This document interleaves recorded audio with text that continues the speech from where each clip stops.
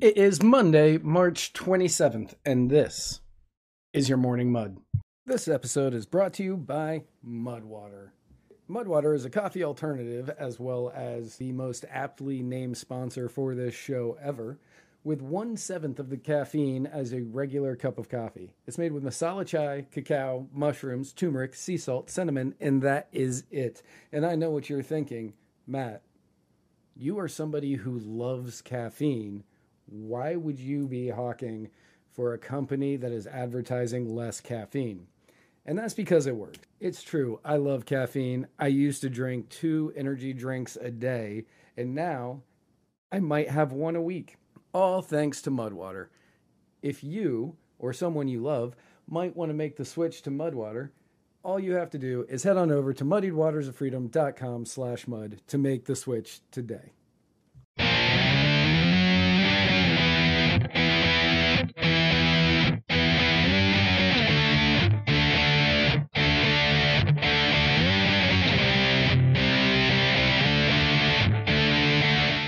Good morning, everyone. I am Matt Wright, editor in chief of Muddied Waters Media, here to give you your morning news. I hope everybody out there is having a fantastic Monday. Um, so, just so everybody knows, Sunday, March 26th, was my birthday, which means I was out doing things. So, instead of giving you an episode um, with like the current things, I'm actually, uh, this, you're going to hear clips from the subscriber only episode that aired on Friday. Um, so these are two things that are actually very pertinent for today, for March 27th, uh, that I'm going to have you go, that I'm going to have on, here on the show. Um, but you will be able to hear clips from the subscriber only episode. So let's get into it. March 27th is Ross Ulbricht's birthday. Um, and as we all know, Ross Ulbricht has been in prison for 10 years now. 10 years.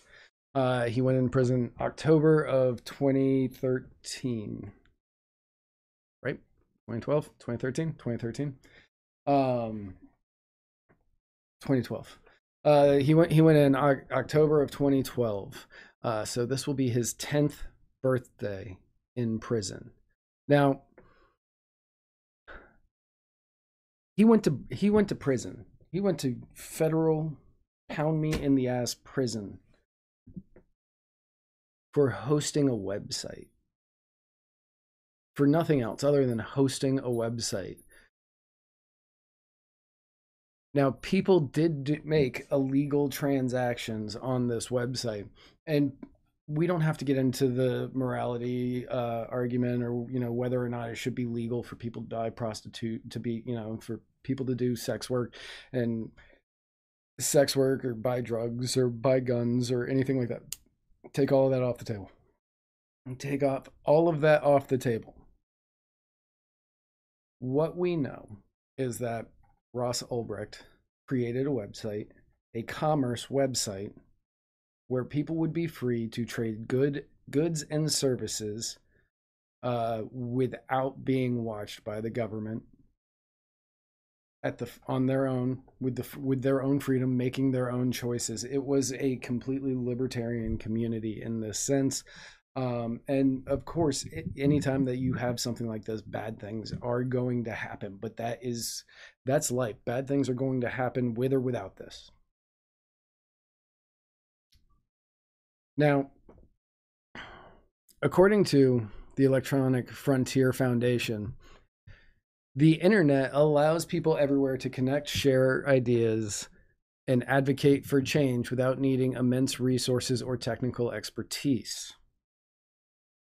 Our unprecedented ability to communicate online, on blogs, social media platforms, and educational and cultural platforms like Wikipedia and the Internet Archive is not an accident. Congress recognized that for user speech to thrive on the internet, it had to protect the services that power users' speech. And by speech, you also have to be able to lump in users' choices. Your ideas, the things that you stand for, it's the freedom of your choices as well. That's why US Congress passed a law, Section 230, which we all know that Section 230 is always up for debate and people are always calling for it to be tr- changed or, you know, gotten rid of or whatever. But Section 230, originally part of the Communications Decency Act, that protects Americans' freedom of expression online by protecting the intermediaries we all rely on. It states no provider or user of an interactive computer sorry, no provider or user of an interactive computer service shall be treated as the publisher or speaker of any information provided by another information content provider. Which means that when you post something on Facebook, on Google, on Twitter, on YouTube, on, you know, Tumblr, whatever, whatever you are posting is yours. It is not to be confused as though the fact that you posted it on Facebook or you posted it on Twitter means that Twitter or Facebook endorse these things. They are not the ones saying it.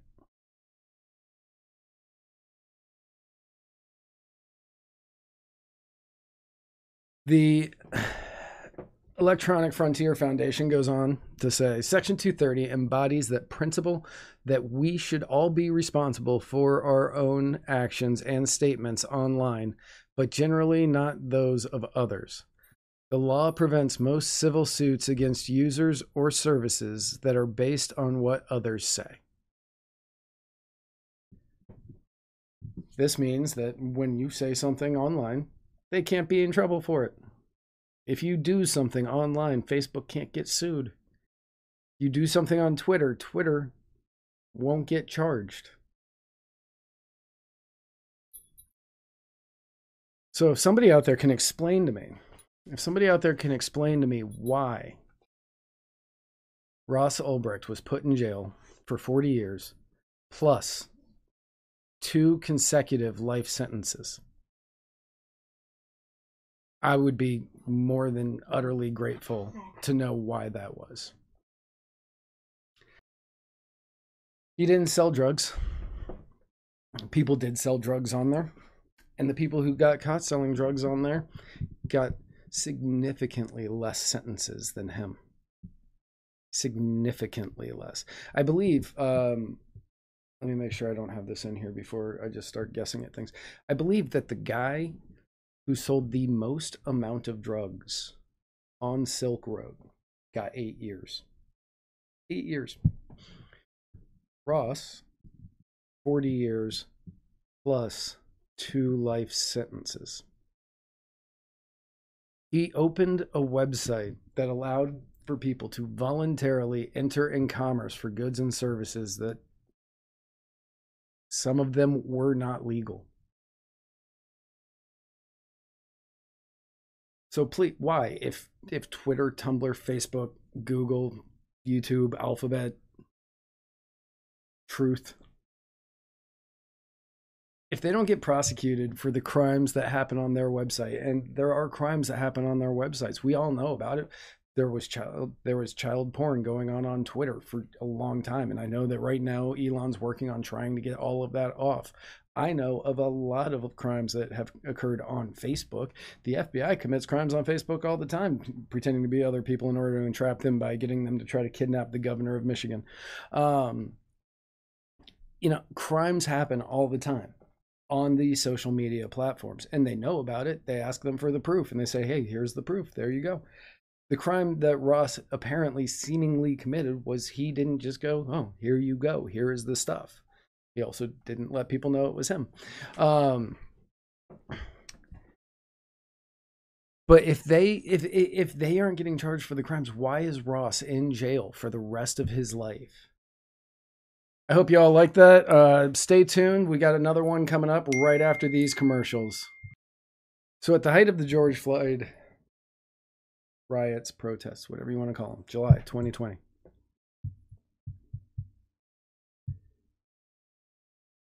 Garrett Foster, a U.S. Air Force vet, was at the protest in Austin, Texas, with his fiancee Whitney. Daniel Perry, an Uber driver and sergeant in the Army, was driving in the downtown Austin area at 4th Street and Congress Avenue where the protest was happening. He needed to make a right turn. He stopped on red. A group of protesters, and I know we all already know this story, but I do feel that this is, you know, we have to remind people of the details of what happened. And I wanted to show the video of this happening so bad. And I wanted to put the video on here, but I couldn't put the video on here because you can't find it online anymore. I looked so hard for that video and I didn't want to find the video, but I did want to find the video just so I could give you the play by play.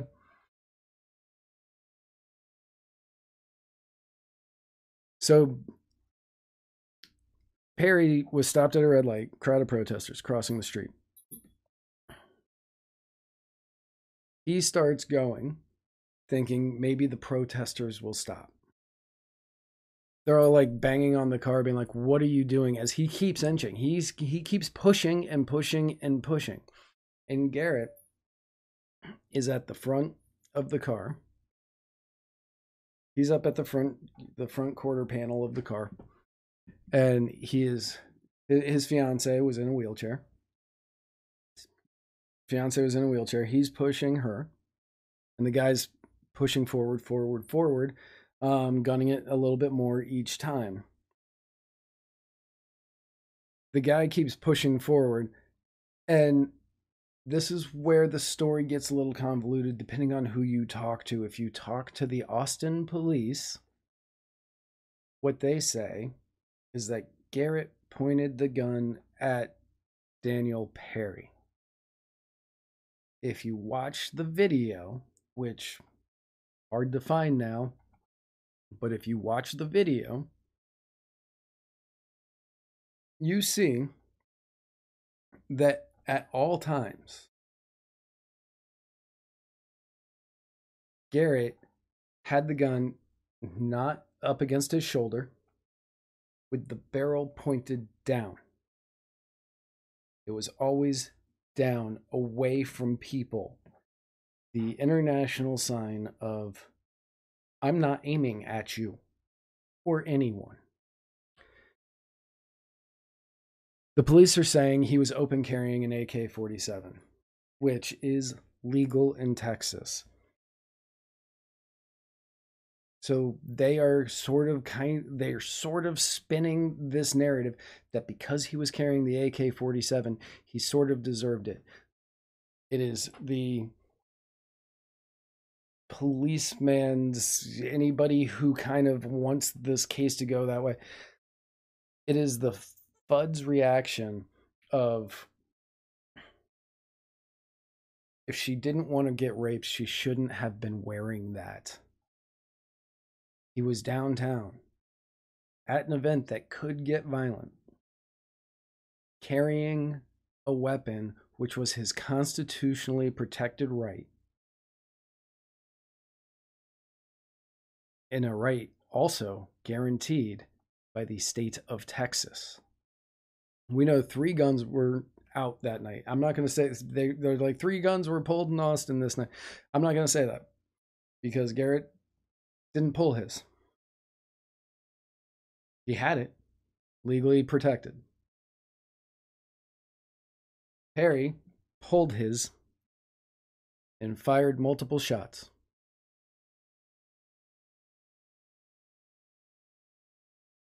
Then another person fired at the car or around the car. I don't know if he fired at the car. Fired around the car, and then Perry sped through the crowd. Perry sped through the crowd, and he uh, later called 911 to say, I shot somebody and I left them there. People can say a lot of things about what happened the summer of 2020. And most of the time, I'm going to agree. A lot of the times, the mostly peaceful protest thing that CNN did, no, most of the time, they were not mostly peaceful, but there were peaceful protests and there were peaceful protesters. Garrett Foster was a peaceful protester. He believed in property rights. He believed in freedom of speech.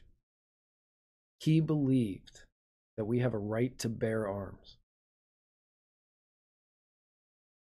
He believed in the Constitution. And if nothing else, if nothing else, this is a man who needs to be vindicated by the system. And even if it is a Soros funded DA that gets that job done, I will salute that person and say, good job, because that is a man that deserved to be vindicated.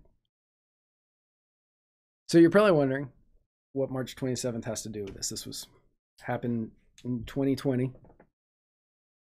And the uh, trial was set for July 26th, canceled, rescheduled, canceled, rescheduled. On March 27th, the day after my birthday, jury selection begins in the trial of Daniel Perry. It's finally happening. Nearly three years later. And I hope that whatever whatever happens during this trial, I hope you get some semblance of closure, and I hope the rest of the Fosters get some semblance of closure, and I hope everybody who knew Garrett gets some semblance of closure over everything that has happened. Because this, this is something we should all be fighting for, that we should all be striving for. We should be fighting to be like Garrett. Stand up for your beliefs. Fight for what you know is right. Care for the people that you love. Love the people you care for.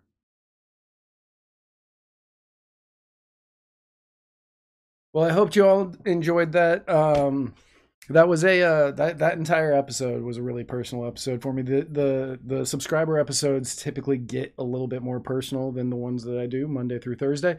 So if you want to hear that entire episode, or you want to um, you know hear the other episodes that I have put out for the subscribers, uh, all you have to do is go to anchor.fm slash muddied waters slash subscribe and do whatever they tell you to do right there. And you can get all of the subscriber episodes, new ones coming out every week.